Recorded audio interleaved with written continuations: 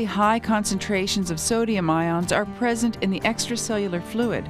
Sodium leak channels allow sodium ion diffusion into the cell following their concentration gradient.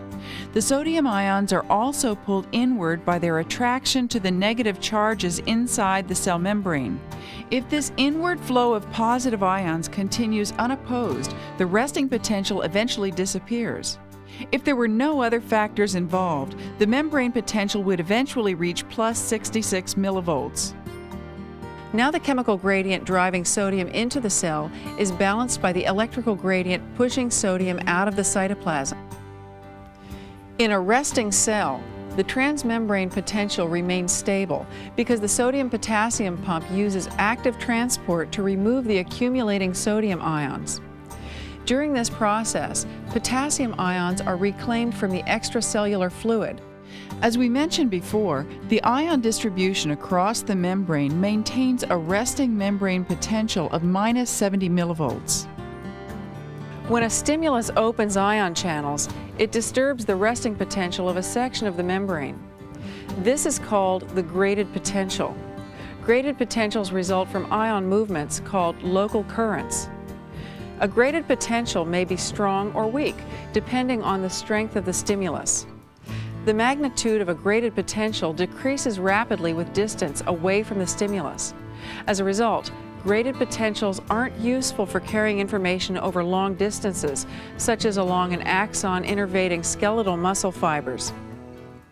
Long distance information transfer involves the production and propagation of action potentials. To produce an action potential, a stimulus must first produce a graded depolarization to a threshold level. The threshold level of depolarization is similar to the trigger pressure needed to fire a gun.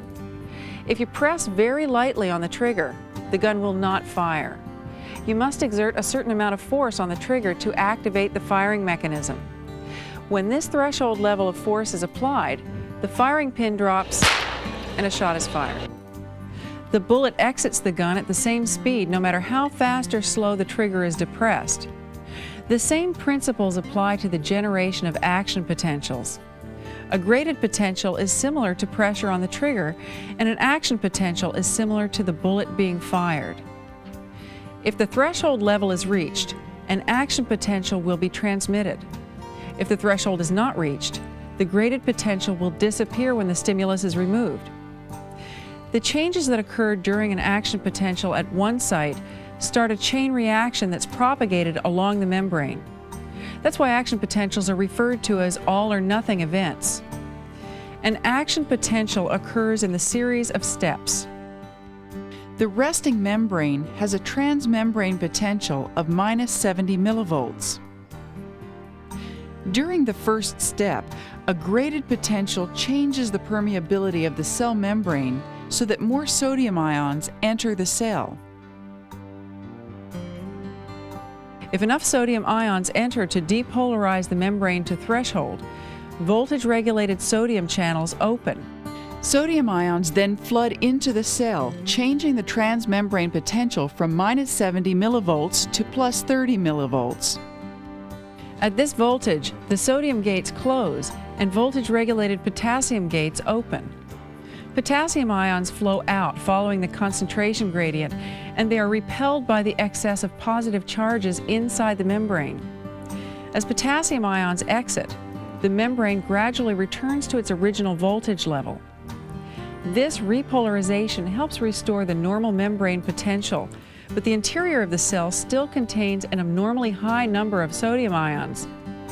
The sodium-potassium pump restores normal ion concentrations by ejecting the sodium ions and reclaiming lost potassium ions.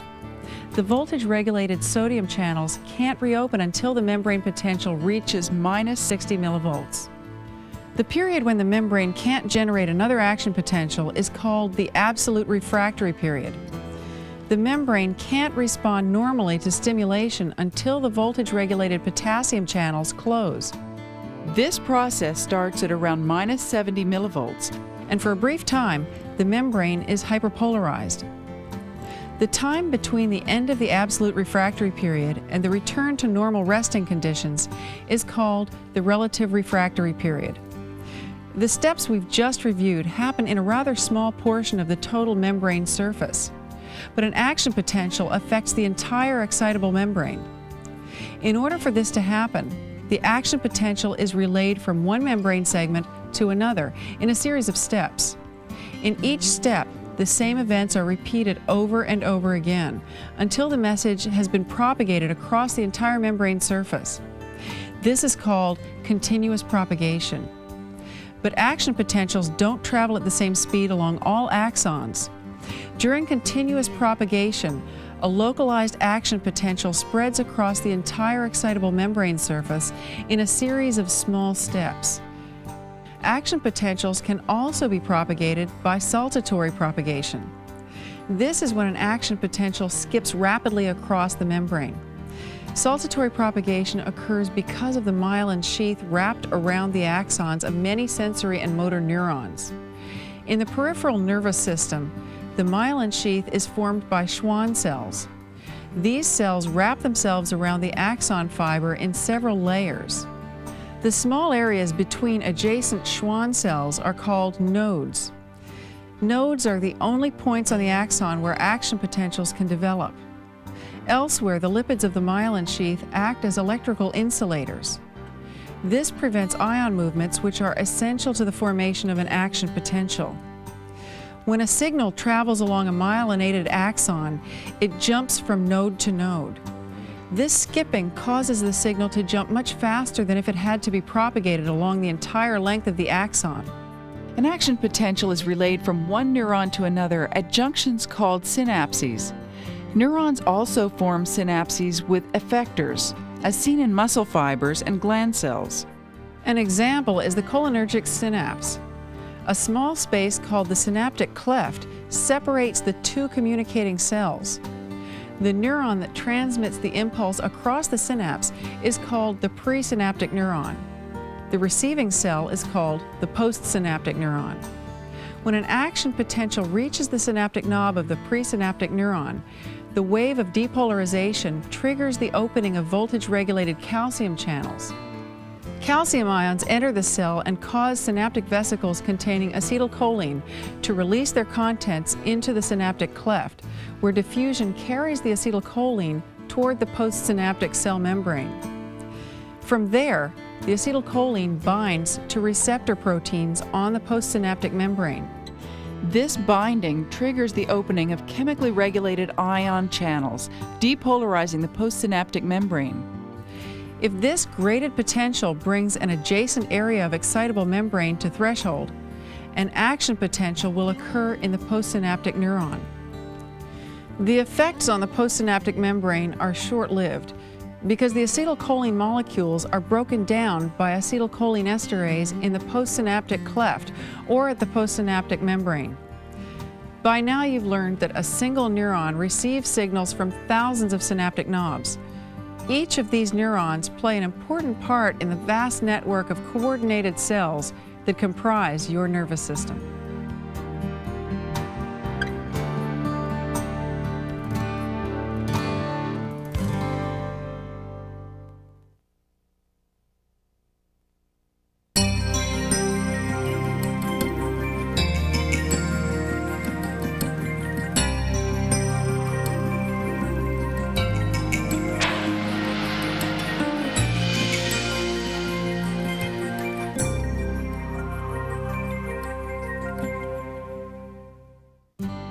Hi, I'm Susan Savoy, and I'll be your host for the video tutor discussion of heart function.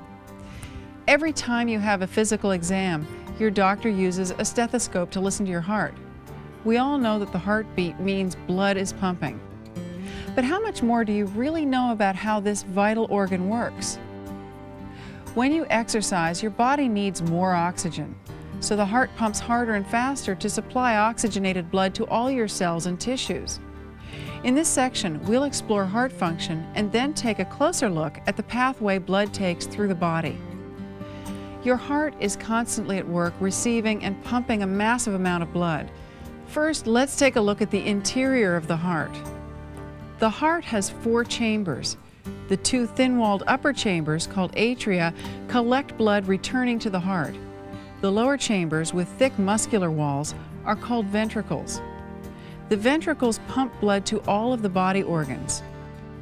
Membranous flaps called valves keep blood flowing in a forward direction. On each side of the heart, an atrioventricular valve prevents backflow between the atrium and ventricle. Semilunar valves prevent backflow between the ventricles and their attached vessels. The heart can be viewed as two separate pumps housed within one organ. The right side of the heart sends blood to the lungs, and the left side sends blood throughout the body. The right atrium receives oxygen poor blood returning from the body tissues through the superior and inferior vena cava. The right ventricle pumps this oxygen poor blood through the pulmonary arteries to the gas exchange surfaces of the lungs to pick up oxygen and eliminate carbon dioxide. The oxygenated blood then returns to the left side of the heart.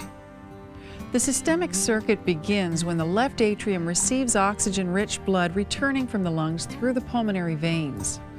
The left ventricle pumps this blood into the aorta for distribution to the tissues and organs. Let's take a look at how your heart beats. The heartbeat relies on the coordinated contraction of cardiac muscle cells. The cardiac cycle refers to the sequence of events as the heart beats. It includes periods of contraction called systole and periods of relaxation called diastole. Heart valves prevent backflow of blood during ventricular systole and ventricular diastole. Now let's take a look at a single valve and how it works. Valves are flaps of connective tissue anchored by strong threads. They open and close to direct blood flow. The movement of blood depends on pressure gradients. For example, blood will flow from one heart chamber to another whenever the fluid pressure in the first chamber is greater than that in the second chamber. When pressure in an atrium is higher than in the attached ventricle, as it is during a ventricular diastole, the atrium contracts, fluid pressure increases inside the chamber, and blood flows into the ventricle at an accelerated rate. Pressure rises in the ventricle as it fills. Ventricular pressures rise quickly as ventricular systole occurs. When pressure in the ventricle exceeds that of the atrium, blood moving toward the atrium pushes the valve closed. So far, we've learned two important concepts. Blood flow through the heart depends on fluid pressure, and valves prevent backward flow of the blood. Notice how the valves work as we follow the steps of the cardiac cycle. The cycle starts with atrial systole. Elevated fluid pressure in the contracting atria forces additional blood into the relaxed ventricles, completely filling them. The atria then enter a period of relaxation, which lasts for the remainder of the cardiac cycle. As atrial systole ends, ventricular systole begins. As the ventricles begin to contract, fluid pressure inside them builds. When ventricular pressures rise above those in the atria, the atrioventricular valves swing shut. When right ventricular pressure exceeds pressure in the pulmonary trunk, the pulmonary semilunar valve opens and blood flows into the pulmonary circuit. When the left ventricular pressure exceeds aortic pressure, the aortic semilunar valve opens and blood rushes into the aorta. Ventricular diastole then begins and ventricular pressures decline. As ventricular pressures fall below pulmonary and aortic pressures, the semilunar valves close. The cardiac cycle ends with both the atria and ventricles in diastole. So the next time you're exercising and you sense your heart rate climbing, be aware that the cardiac cycle with its alternating periods of systole and diastole is in a constant repeat mode to keep your blood flowing and your body operating smoothly.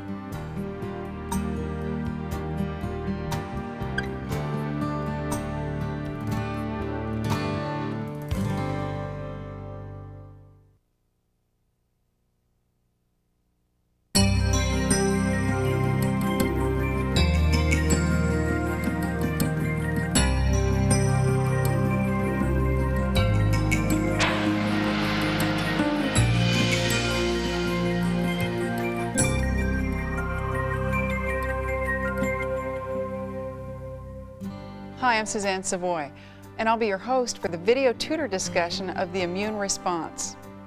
Our body is prepared to defend itself with both nonspecific and specific mechanisms. Nonspecific defenses prevent infectious organisms or hazardous materials from entering the body or limit their spread within our tissues.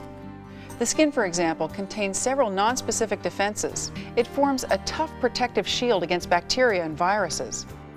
Your skin also has chemical defenses. Acids and destructive enzymes in your sweat and oil gland secretions inhibit the growth of microorganisms. Inside the body, other nonspecific defense mechanisms help prevent an infection from spreading. Beneath the epithelium, phagocytic cells such as macrophages engulf and destroy pathogenic organisms. These natural killer cells recognize and destroy abnormal body cells in a process called immunological surveillance. The complement system, another nonspecific defense mechanism, is a network of antimicrobial proteins that augment antibody action. When activated, these proteins stimulate inflammation, attract phagocytes, and bind to target organisms, making it easier for phagocytes to engulf them. Inflammation is a localized response to injury or infection. Chemicals released by mast cells initiate a variety of responses that restrict the spread of infection and facilitate tissue repair. The elevated temperature of a fever can facilitate body defenses by speeding up cell metabolism. Sometimes nonspecific defenses aren't destructive enough to stop the spread of an invader. In that case, your body initiates a highly focused counterattack using specific defense mechanisms. Specific defenses are similar to the popular game paintball, where two different teams are represented by the colors blue and red. The blue represents the good team, your body's defenses. The red represents the attackers, such as infectious organisms or foreign proteins. Just like the attacking paintball team wears red bandanas and our defensive team wears blue, our body cells have their own identifying markers called MHC proteins.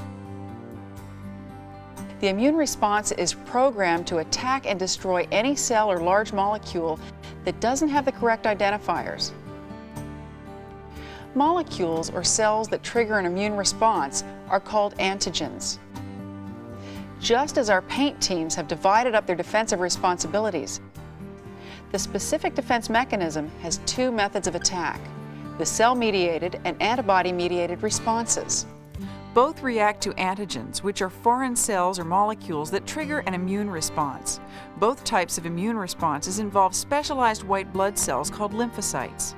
All of your lymphocytes originate from stem cells in the bone marrow.